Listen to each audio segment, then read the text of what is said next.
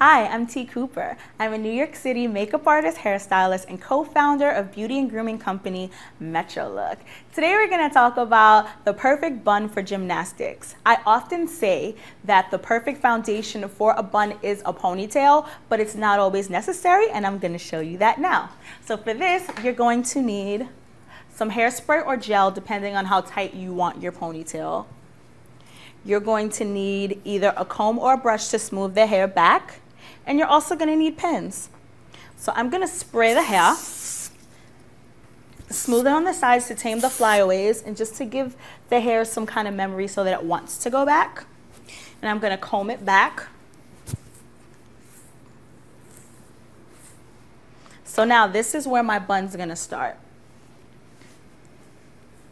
And you know what? I'm actually going to just smooth the top of this just so that it looks good and I'm going to twist the hair really, really tight, as tight as I possibly can. And you see I'm using two hands to twist it. And I'm gonna twist it till I almost reach the bottom. You don't have to go all the way to the bottom because this is gonna be hidden anyway. So you see, just as I'm twisting, it's already creating a bun shape on its own just from me twisting it. That's what makes this so ideal. So now I'm just gonna wrap it around itself and tuck the loose end in the bottom. And this that's left on top, I'm just gonna press it down. And I'm gonna take my pins and I'm gonna pin into it. And being that this is for gymnastics, I would suggest that you use a lot of pins if you're gonna be flipping and, and dismounting and doing all that cool stuff that the gymnasts do. You do not want your hair falling apart.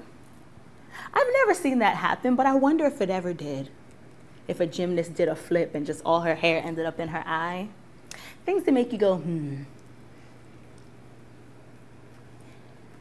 And there's a nice tight bun there, and it looks really pretty. This is what it looks like from the back.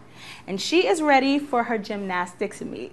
I'm T. Cooper, and thank you for watching. Bye.